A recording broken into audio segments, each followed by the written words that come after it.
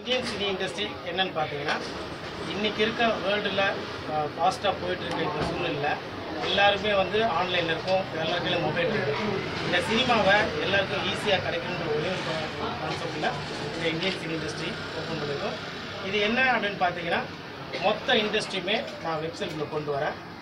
Producer director cameraman சின்ன ஆக்டர்லேருந்து பெரிய actor வரைக்கும் லிரிக்ஸ் ரைட்டர்ஸ் அந்த சிங்கர்ஸ் அவங்கவுங்க டேலண்ட்டை நம்ம வெப்சைட்டில் ஜாயின் பண்ணி நம்ம வெப்சைட்டில் அவங்களோட அப்லோட் பண்ணிகிட்டே இருந்தால் இது வந்து பார்க்கறதுக்கான வேர்ல்டில் எங்கே வேணால் பார்க்கறதுக்கான சான்ஸ் இருக்கும். நம்ம நோட்டு புக்கு நான் வந்து ஃபோட்டோஸ் எடுத்துகிட்டு நான் ஒரு ப்ரொடியூசர் ஆஃபீஸும் ஒரு டைரக்டரும் பார்க்காம நான் தன்னுடைய வேலைகள் இன்றைக்கி எவ்வளோ திறமையானவங்க எல்லா டிபார்ட்மெண்ட்லேயும் இருக்காங்க. நீங்கள் ஐடி கம்பெனியில் பார்த்தா நல்ல திறமை உள்ள ஒரு நடிகர் இருக்காங்க. அதே ஐடி கம்பெனியில் நல்ல பாடக்கூடிய ஒரு சிங்கர் இருக்காங்க.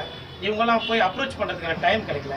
அவங்க அப்ரோச் பண்ணணும். அவங்களாம் நம்ம வெப்சைட்டில் ஜாயின் பண்ணால் ஈஸியாக இந்த சினிமாவை வேர்ல்டு ஃபுல்லாக கொண்டு போகலாம்.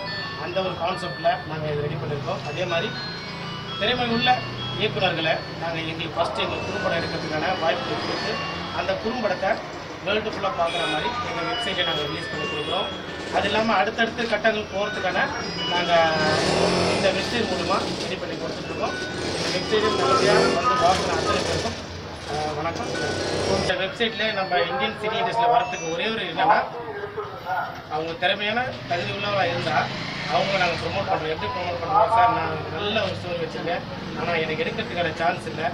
நான் வந்து ஃப்யூச்சர் ஃபிலிம்ஸ் எடுக்கிறதுக்கு எனக்கு ஒரு சான்ஸ் கொடுங்கன்னு சொன்னால் அவங்களுக்கு கேமராலேருந்து ஆர்டிஸ்ட்லேருந்து எல்லாமே நம்ம வெப்சைட்டில் கொடுத்து அந்த மூவியை நாங்கள் எங்களோட வெப்சைட்டில் நாங்கள் டெலிகாஸ்ட் பண்ணி அவரை நாங்கள் ஃபர்தராக வெளியே கொண்டு வரதுக்கு எல்லா ஏற்பாடும் நாங்கள் பண்ணுவோம் அதான் இது. இதை பற்றி அவங்க டிஸ்கஸ் பண்ணாங்க பண்ணதுக்கப்புறம் அவங்களுக்கு நாங்கள் ஷார்ட் ஃபிலிம் எடுக்கிறதுக்கான வாய்ப்புகள் கொடுத்து அந்த ஷார்ட் ஃபிலிமே நாங்கள் ஃபில்டர் பண்ணுறதுக்கு எங்கிட்ட வந்து எங்கள் டீம் இருக்குது அதை ப்ரொஜெக்டில் போட்டு பார்த்து எப்படி இருக்கோ அந்த தரம் கண்டிப்பாக இருந்தால் மட்டும்தான் எங்கள் வெப்சைட்டில் டெலிகாஸ்ட் பண்ணுறதுக்கு நாங்கள் ஏற்பாடு பண்ணியிருக்கோம்.